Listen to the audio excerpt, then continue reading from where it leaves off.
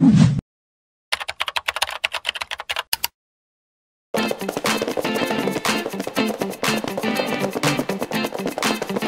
et bienvenue dans les astuces de Léa. Aujourd'hui, je vais vous montrer comment éplucher une gousse d'ail sans couteau.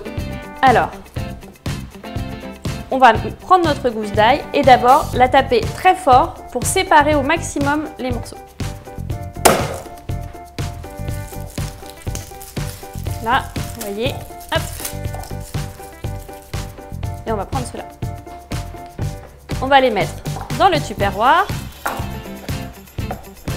Et alors là, je vais vous demander un petit peu d'énergie.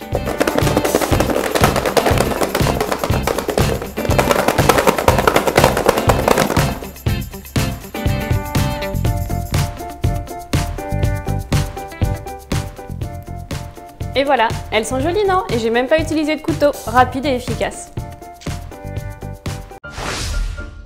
Cette vidéo vous a plu? Alors n'hésitez pas à vous abonner pour ne manquer aucune de nos vidéos.